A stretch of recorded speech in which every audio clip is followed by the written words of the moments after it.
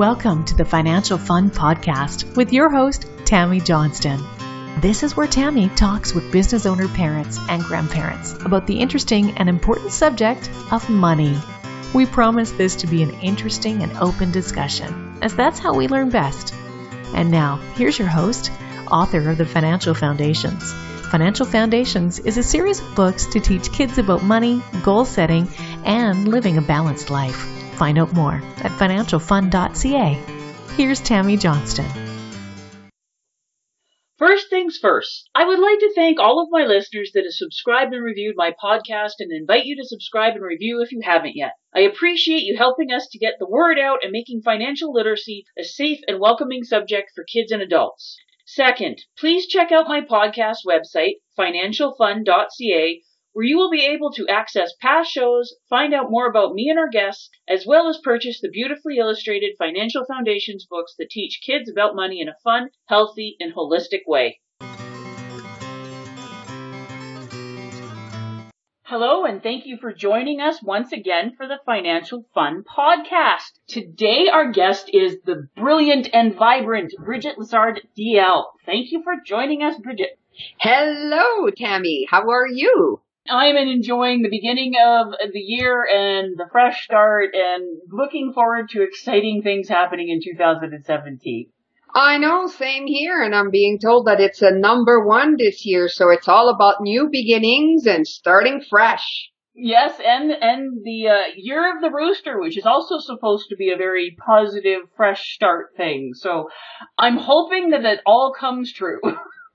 Woohoo! We are ready for a really good year. It's going to be fun. It is. So, would you like to tell our listeners about what you do? What is your business, Brigitte? Well, I um I've been an entrepreneur for most of my life. I like to call myself a serial entrepreneur. I've owned so many different businesses. And right now, the uh, two businesses that I'm involved in is one is an internet business called sportsbras.ca. And obviously we sell sports bras and we like to say we give you less bounce for your buck. yes, pun intended. and uh, the other business that I own is Women Talk, and it's uh, an event-based business. We're in six cities across Alberta, and uh, we host monthly events where women come and share their stories. Six cities already.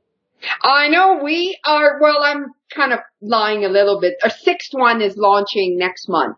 So, but yeah, we're going to be by February, second week in February, we're going to be in six cities. Well, that's very impressive because I remember when you first started it, which wasn't that long ago. Uh, we started our monthly one a year and a half ago. Yeah, so obviously it's going well. It is going really, really well. We've found, um, you know, kind of a niche market that we're, you know, we do something very different than anybody else. We're not about business. We're not about networking. We're simply ordinary women sharing their extraordinary stories. But of course, like any other time where people meet, um, a lot of business does happen, but that is not our focus. Business is all about relationships, and if you're building them, it will come. So it's all good. Yeah, I find it very interesting because a lot of people are discovering that because I think sometimes we're a little too focused on doing business and going out to do business and, you know, sometimes if you just go out to just meet people and make friends and give people an opportunity to get to know you, then the business comes your way. The other, when you do it the other way around, you know, sometimes it's harder. Oh, it's much harder. It's kind of like, uh, in, in, in racing, if you're doing the skill driving. In order to go faster, you need to slow down. oh, I, sh- I, need, I still need to learn that lesson, I think. and what is your family situation, Brigitte? Well, I am married and I'm actually married to another female and we have two kids together. One is seven and one is 10 years old. And the 10 year old is a girl and the seven is a boy. Oh, so you're getting, you're getting the fun age. You haven't, you haven't hit the, uh, the heavy duty preteen years or the teenager stuff yet. Oh, I'm telling you, my 10 year old though is pushing it. she is getting there fast. Oh, and she's not going to be slowing down at all. I know, I know. It gets a little scary. As a matter of fact, uh, both of them lost a tooth. um, la- yesterday. So of course we do the tooth fairy thing. And this morning, you know, there was no scream of joy from the money under her pillow. And I was thinking, oh, my little baby is gone. I've got like almost a teenager here. She's kind of like, yeah, right, the tooth fairy. but she did take the money. Oh, they always take the money, dear. They always take the money. the money is always welcome no matter how old you are. As a matter of fact, I'm quite willing to believe in the tooth fairy if I'm going to get money. so thinking back to like when you were a kid and stuff, when did you first start realizing like money and that it was important? Um, my parents never really um taught me how to um save my money or invest my money. Like it was not something that was talked about in my house. And I'm 51 years old and I think that people from my generation, it like people just didn't talk to their kids like we do now. I first started managing my money, of course, when I started babysitting. And I had quite a good little business going on right off the bat. I lived in suburbia and uh, quite often I was booked quite a long time ahead. So um, it was it was uh, really enjoyable to to start making my own money, you know. And what were some of the things that you were excited about spending your money on? Well, one of the first thing I did was get a haircut by a hairdresser. Oh. and that was a really big deal for me because, you know, the good old uh, 70s haircut with long at the back and the really, really short bangs. and, that was one of my biggest joy the first time that uh, I had enough money and I went to the hairdresser and paid for my own haircut. And it was very rewarding, actually. I completely remember that. Yeah, give, giving you that feeling of control. Yeah, and being able to decide, you know, this is what I want and I'm paying for it and I can do whatever the heck I want. I remember as well, uh, I was playing guitar and we were going for a big concert. Like I, I grew up in Quebec and we were going to Ottawa for a concert and I wanted to be independent and um, wanted to take the bus up there and not drive with my parents. So I had to sell chocolate bars. And of course, living in suburbia, like the houses were really, really spread out. Like I would have had to walk miles and miles and miles. And my, I think it was my grandmother's sister. I didn't really know her all that well, but she passed away. And I went to the funeral home and I'm so embarrassed to say this, but I have to share this because it was quite funny. I had all my aunts, my uncle, and everybody's there feeling kind of sad. And then I thought, I wonder if they'd be interested in buying chocolate bars right now. and I sold, I sold every single bars at the funeral home. so I think it was my first experience of emotional buying with people, you know? location, location, location. I remember it being it's been passed around on Facebook a few times. But a Girl Guide set or a Girl Scout down in the States set up her her her cookie stand outside of a pot store in Colorado, and she sold like hundreds of boxes in a few hours. Brilliant. That's just as good as going to a funeral home with chocolates. Oh yeah, exactly. It's just it, it's the ingenuity and the innocence of kids. Yeah, yeah, truly. Like I just, you know, I kind of connected the two together, and you don't realize. Well, I mean, I mean, you couldn't do that as an adult, of course, but as a kid, you you're able to squeeze some stuff in that you wouldn't be able to do as an adult. Yeah, being a being a minor gives you a little bit of license. yeah, although some people never quite get there and to realize that it's not really like you should not be doing that. So with with your kids and stuff, like you were talking about, your daughter is is not so excited about the tooth fairy, but she still uh, is very happy about the money. What are some of the things that you're you're noticing with your your son and your daughter about around the subject of money? Like, what are the questions they're asking and things like that? Well, one of the very interesting thing that I've noticed right away is the difference in spending habits.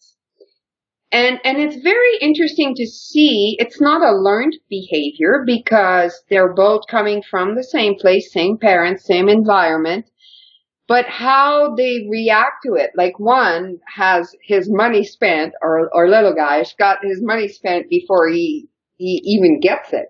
and, and the other one is saving all of her money for, you know, when she decides she wants to buy something. So it's quite intriguing on how your personality will really dictate a lot of your relationship with money, I think. Oh, huge. And it's, it's so common when I'm talking with people, parents that have more than one child. I, mine's simple. I have one. But yeah, they'll have, they've even, I've even talked to people they have twins. So as close as you can get and they will have completely different personalities when it comes to money.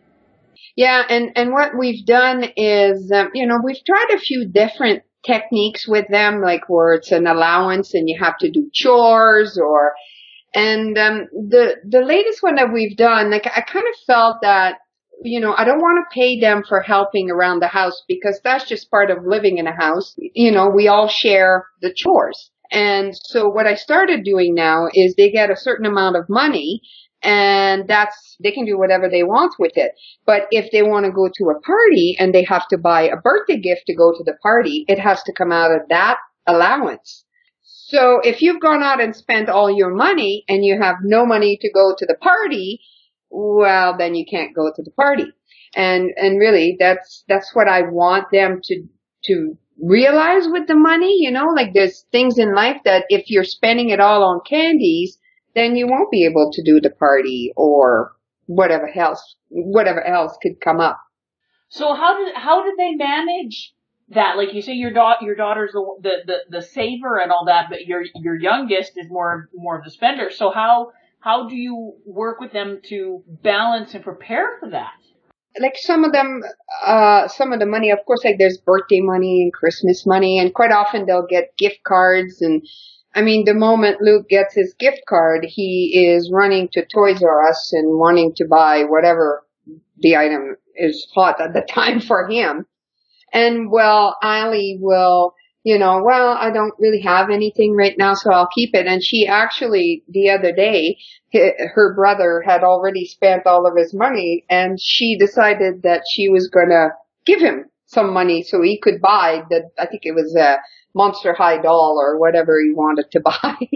and, and she gave him some money so he would have enough to buy the doll. But then, of course, came back at him and said, you know, I gave you money to buy that doll, so you have to be nice to me now. and, and how does that work out? And, you know, it's like touch and go. Sometimes it's good, sometimes it's not.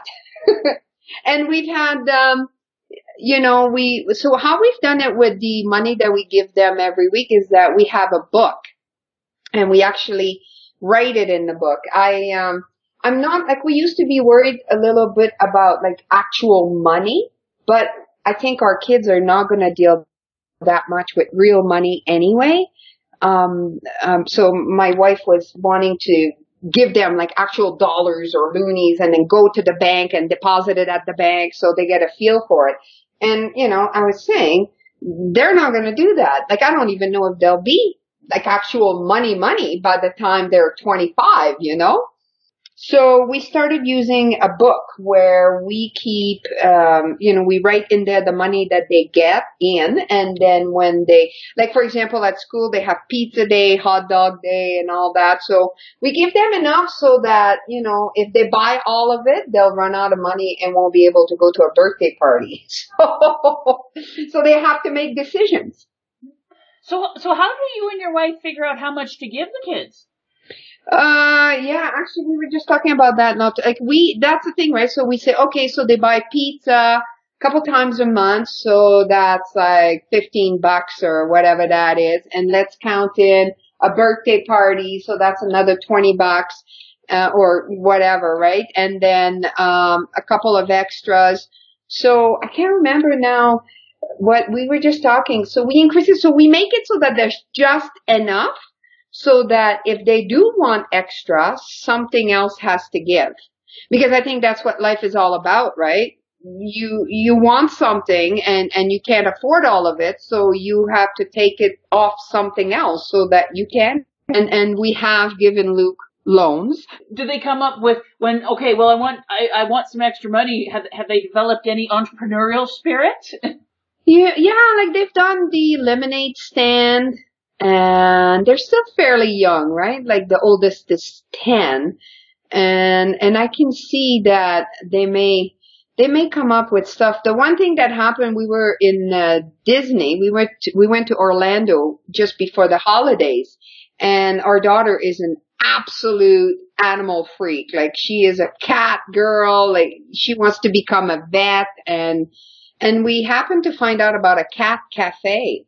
Oh, I've heard of those. Calgary's supposed to be getting one. Yeah, yeah, not very long from. So we went off to the cat cafe, figured, you know, enjoyed a couple of hours there and they were excited. And it was so cute to see them. They actually started putting a business plan together as to what they were going to do when, when Sally graduate as a vet and how there was going to be a cat cafe and a veterinary, like a, an office and the, you know, the pet store and the, the groomer and like, yeah, they were actually like drawing and making plans and you know, where the desk is going to, and how Allie was going to make money as being a vet. And like, it was quite interesting to see them go because, you know, they grew up in a, in an entrepreneurial home. They've always, you know, seen me doing different kind of businesses and they hear the word business plan, I guess, because they knew how to do a business plan. well, they, they know the concept. The kid, kids pick up so much that we're not aware of, which is why I'm going, it's so important to actually talk more openly about money and business and, and things because our kids are learning and then if we're if we're trying to hide something or, or we've got a lot of shame around it or we're afraid they're picking up on all that as well yeah and you know what i find is like i would like to take more time to do more with them, talk about investments and all. I mean, they're still young. I haven't done it yet and I do feel guilty because I think I should spend more time on this a little bit. But you know, life kind of gets in the way sometimes. But there's still time. There, there's, there's always time. It's never too early or too late. So what are some of the things that you are, you and your wife are actively working on teaching the kids about money? Really, like my main, my main thing is, you know, for them, I want them to realize that you can't have it all. That's just the fact of life. For most of us, you can't have it all. So you have to make some tough decisions sometimes. And that's what I want them to learn very early on is you gotta make decisions. And with, with your wife, what, what are some of the things that you see her wanting to teach the kids? Um, yeah, she's she's a little like I'm a little bit more of the hard ass. Every couple needs one. Yeah, yeah, I'm definitely the the more of a hard ass and you know your money's good. Well, sucks to be you. I guess you're not going to the party. and she's more well. Let's give him a loan. so so there's always a little bit of negotiation that happens there. Um, but yeah, and I think it's good. Like, you know, I'm definitely, my wife is more of a spender than I am. And I'm, I'm not a spender. I, I don't need to buy a lot of things. So they see both sides uh, of the equation. And, uh, I mean, neither one of us is extreme either. Like, we're pretty balanced. So hopefully we, um, we show good example. But yeah, as they get older, definitely want to get a little bit more into, you know, maybe get them to, and my daughter's probably there already actually, um, you know, start working on doing a budget. So this is how much money I'm going to have. And if I save this much, this is how much I'll end up with. And yeah, so that's something I think that I will be doing soon.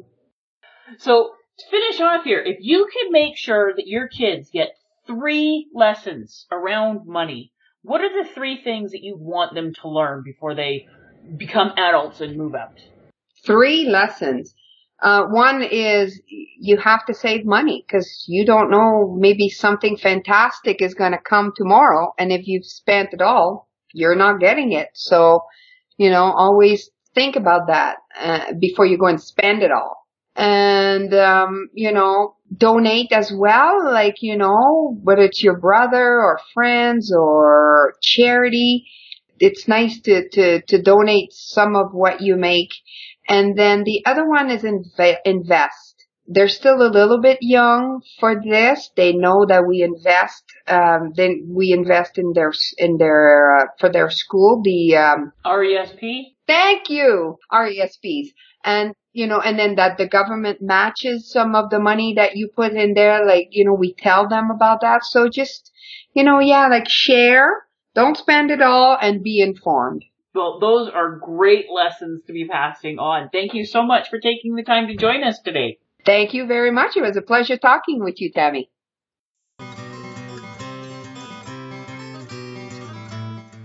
Before we leave each other, I would ask all of you listening to please subscribe to and rate my podcast. A review would be most appreciated and feedback is always welcome. Whether it be a comment, future topic suggestions, and or questions you or your kids would like to have answered in the Ask Tammy column on the financialfun.ca website.